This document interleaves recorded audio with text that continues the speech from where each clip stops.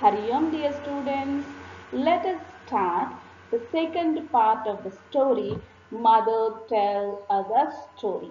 In the previous part, we have discussed about the beginning of this story that is Manza. She was asked to tell stories by her children, isn't it? Hope you have remembered it. Anna children, have you remembered the story? Yeah. So the children asked Manza to tell story, isn't it? So see here are the children. They asked Manza to tell a story when they were sitting around the fire at night and she couldn't tell any story though she thought of a um, she just thought for a while and uh, she couldn't get any stories and immediately she asked her husband and also the other villagers but she couldn't find any stories. And her husband manza's husband zenzel who was very good at carving the pictures he said that i will take care of the home and family and all the responsibilities. You go and find the stories for the children he said. And even manza felt that it is a nice idea and immediately she started her journey to search for stories isn't it and on her way of journey to find stories first she met whom Hare who was very tricky isn't it? And when Manza asked Hare very flatteringly, Oh, clever Hare, do you have any stories? What did the hare say? Hare said that, Yeah, I have millions of stories, but now I don't have any time to tell because I have something important to say. By saying that, it had gone away. That means Hare didn't tell any stories to Manza. And after that, Manza met Fanny, the baboon. Okay, we can also call it as a monkey, isn't it? And when Manza asked this Fanny to tell the stories, Fanny said that she was very busy feeding and taking care of her kids and she don't have any time to think of stories.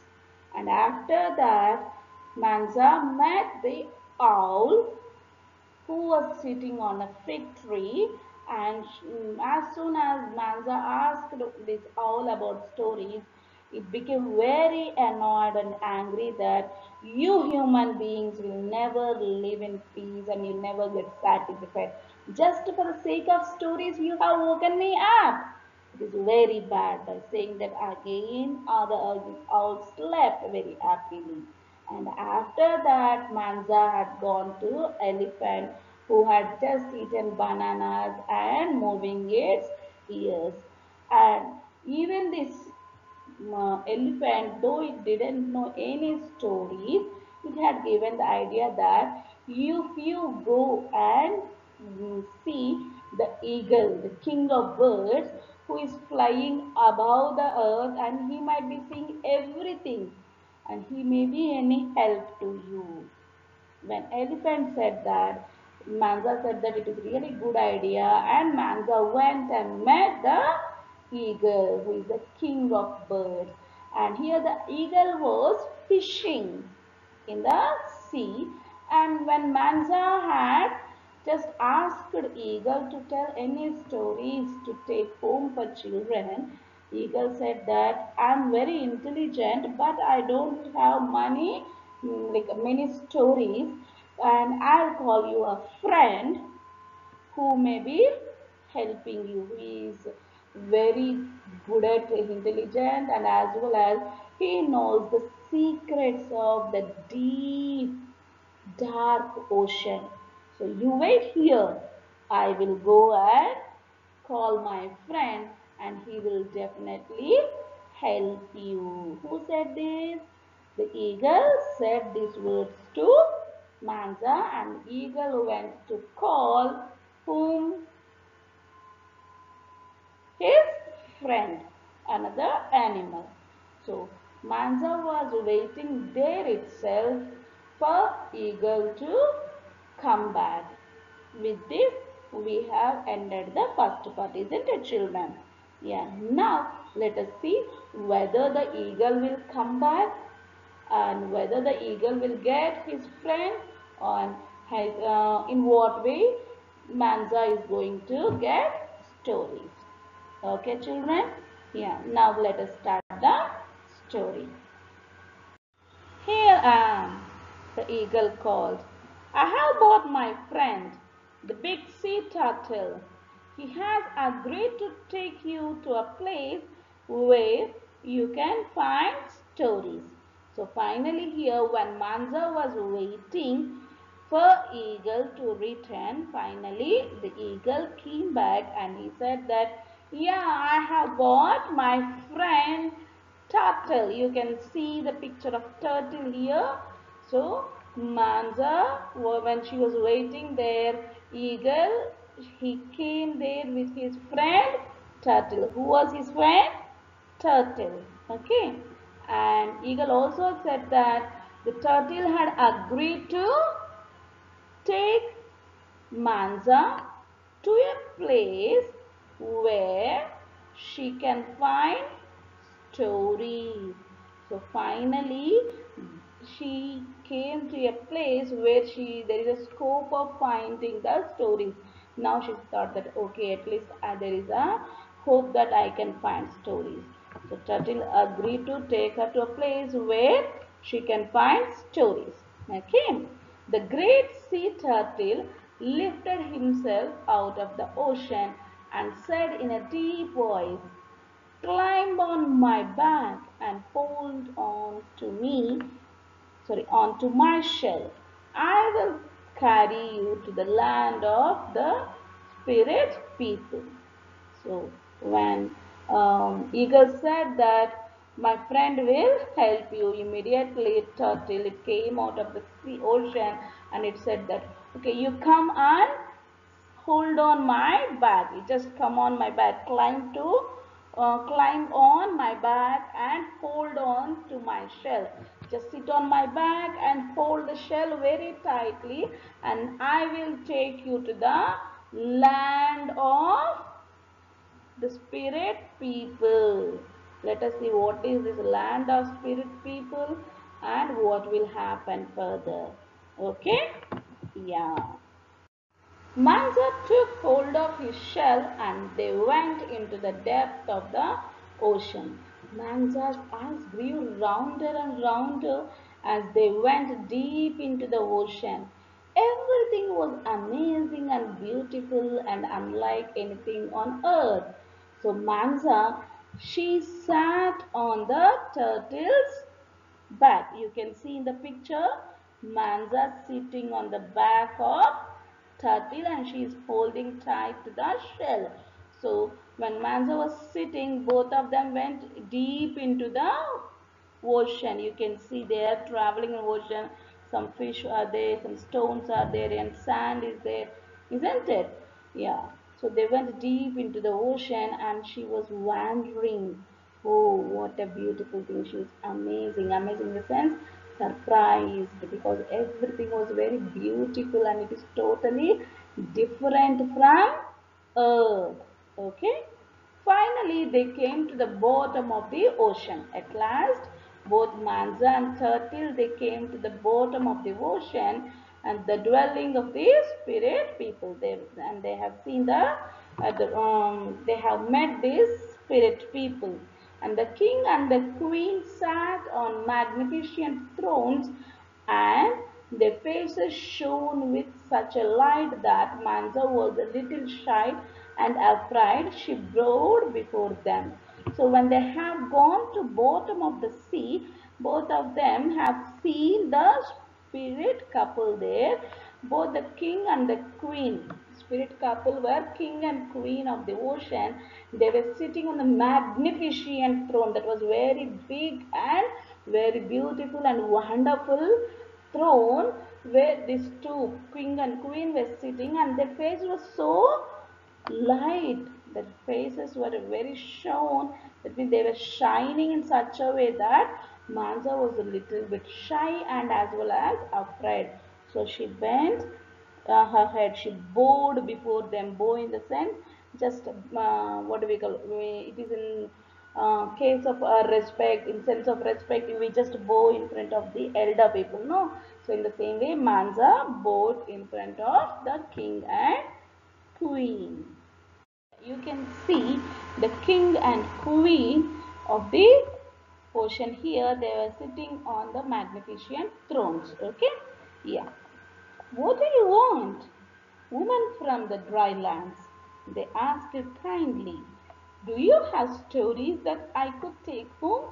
Manza asked shyly. So the king and queen they have asked Manza, What do you want? The woman from dry lands. Dry land in the sense here the woman is where is woman staying here?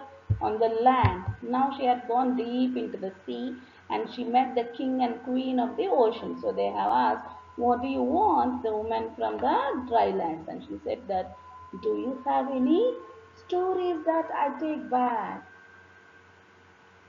She asked, and immediately they said that we have many stories, they said. But what will you give us in exchange, Manza? They asked. So what did the king and queen say? We have many stories to give you. But what will you give us in return? They asked. And immediately Manza said that, what would you like to have? What do you want? You just tell me, Manza said. And would you like a picture of, sorry, we would like a picture of your home and your people. It would be nice to see that place because we can't go there. Can you bring us a picture, Manza? So here, the moment Manza asked, what do you want? Immediately here, the king and queen, they said that they want a picture. What, what do they want? They want a picture of yeah, home. That means the picture of the home and the people who live on the dry land. Because the king and queen, they come out, they can't come out of the ocean and see what will happen on the dry land. So they wanted to have a look at the picture of the uh, houses and the people on the dry land. Okay. Hope you have understood children. So the first in the beginning the king um, will ask Manza what do you want and Manza says that yeah I want some stories and immediately the king and queen the spirit people they say that okay we have many stories but what will you give in return and when Manza asked what do you want they said that they want a picture of the home and the people of the dry lands okay I can do that, she said. My husband carves beautiful pictures. He will carve a lovely one for you. Manza climbed onto the turtle shell and he took her to the shore. She thanked him and asked him to return at the next full moon to collect her and the picture. So, as soon as when these um, spirit people have asked for the picture of a house and people of the dry land immediately Manza said that oh yeah I can do that because my husband carves the beautiful pictures who is the husband of Manza here is he? Yeah. You, you might have remembered it. His husband Zenzile so here she said that my husband carves the beautiful pictures and I will definitely get one for you, she said.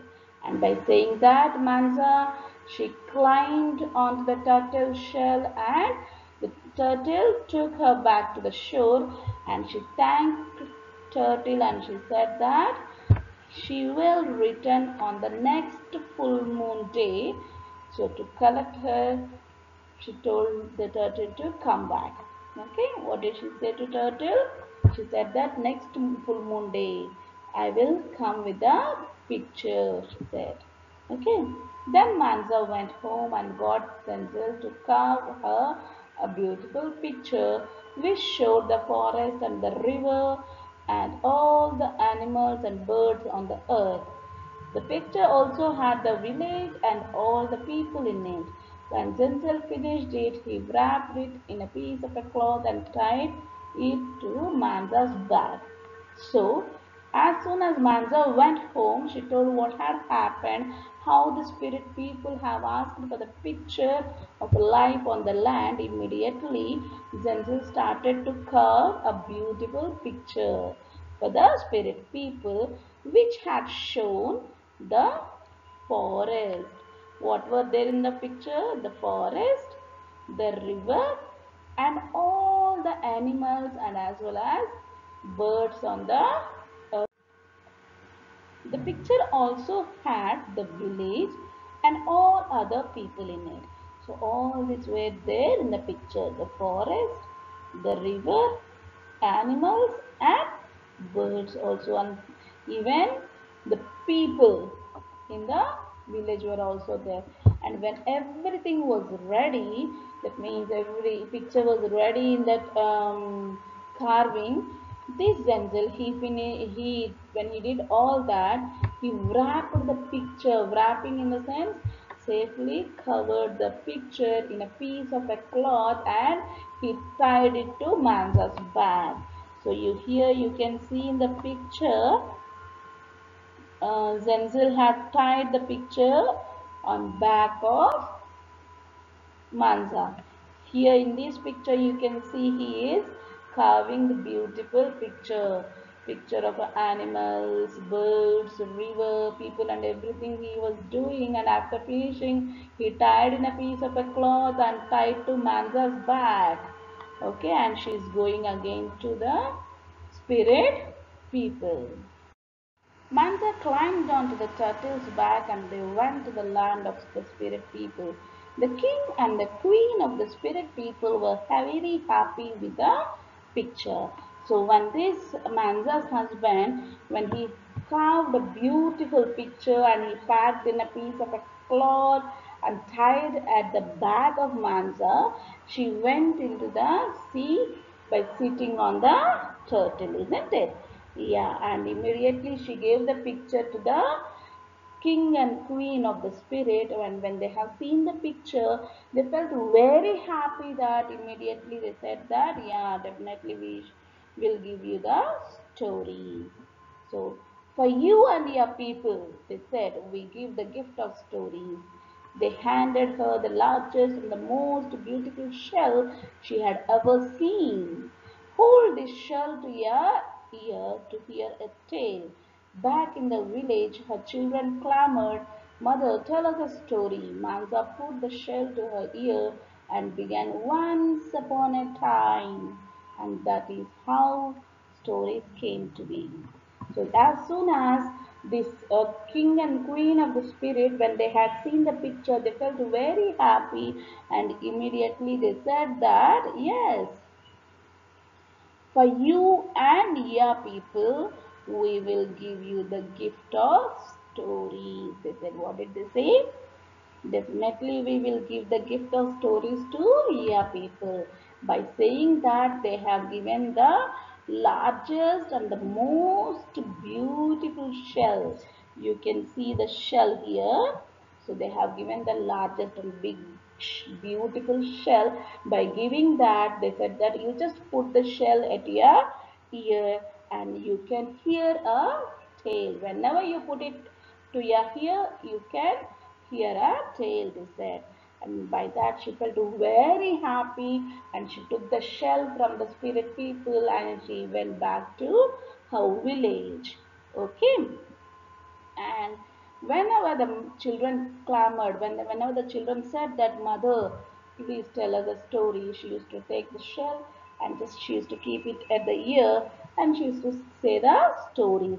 And she used to start the story in such a way that once upon a time, this is how the parents or the grandparents tell us the story. No, once upon a time there was a king, and once upon a time there was a, a lion or the tiger in the forest. So in this way, the story started began in the past. Okay, this is how the stories came to be.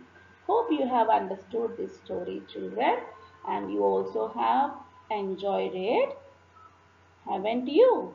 Yeah, definitely you might have enjoyed the story. And now I'll give you the support of a video. The total story is in the form of a short video.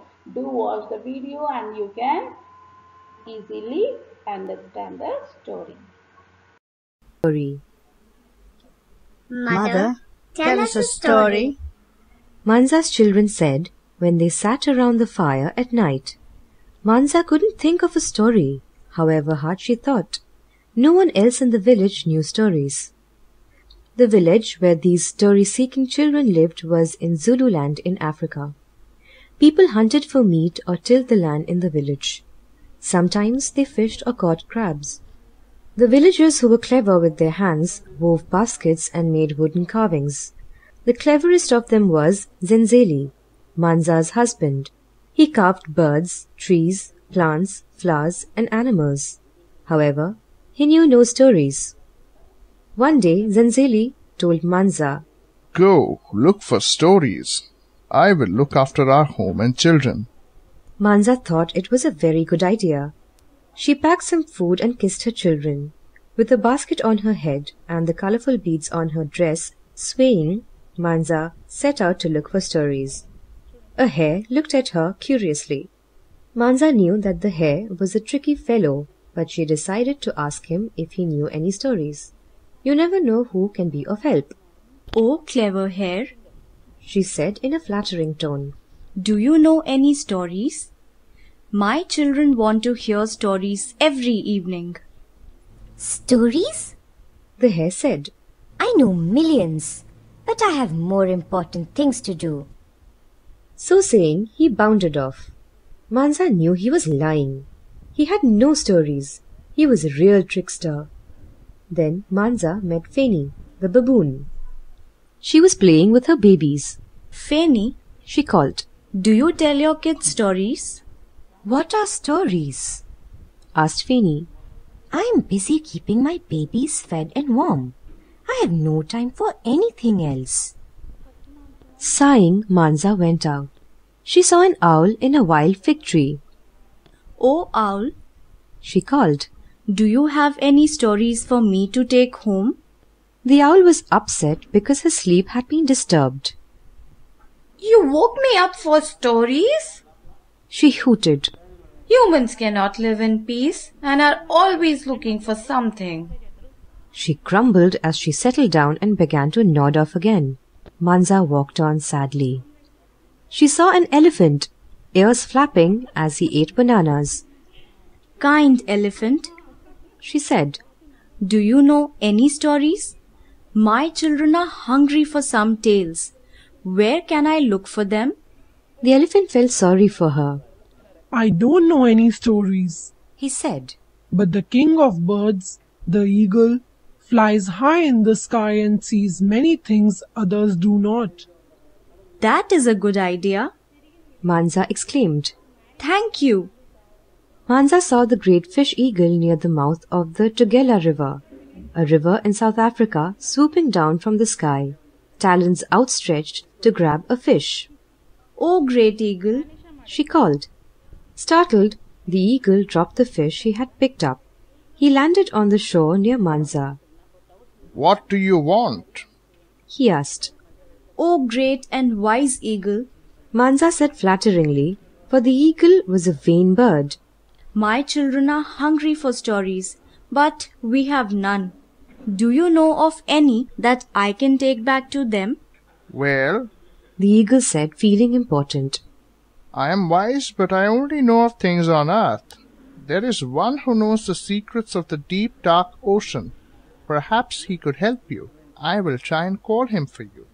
Stay here and wait for me. So Manza waited for the fish eagle to return. Here I am, the eagle called.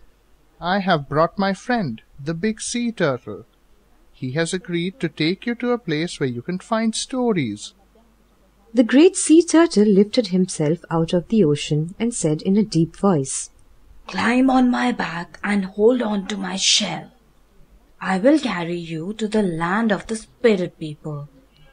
Manza took hold of his shell and they went into the depths of the ocean. Manza's eyes grew rounder and rounder as they went deep into the ocean. Everything was amazing and beautiful and unlike anything on earth. Finally, they came to the bottom of the ocean, the dwelling of the spirit people. The king and the queen sat on magnificent thrones, and their faces shone with such a light that Manza was a little shy and afraid. She bowed before them. What do you want, woman from the dry lands? They asked kindly. Do you have stories that I could take home? Manza asked shyly. We have many stories, They said. But what, will you give us in exchange, Manza? What would you like? Manza asked. We would like a picture of your home and your people. It would be nice to see that place because we can't go there. Can you bring us a picture, Manza? I can do that. She said. My husband carves beautiful pictures. He will carve a lovely one for you. Manza climbed onto the turtle's shell and he took her back to the shore. She thanked him and asked him to return at the next full moon to collect her and the picture. Then Manza went home and got Zenzele to carve her a beautiful picture which showed the forest and the river and all the animals and birds on earth. The picture also had the village and all the people in it. When Zenzele finished it, he wrapped it in a piece of cloth and tied it to Manza's back. Manza climbed onto the turtle's back and they went to the land of the spirit people. The king and the queen of the spirit people were very happy with the picture. For you and your people, They said. we give the gift of stories. They handed her the largest and most beautiful shell she had ever seen. Hold this shell to your ear to hear a tale. Back in the village, her children clamored. Mother, tell us a story. Manza put the shell to her ear and began. Once upon a time, And that is how stories came to be.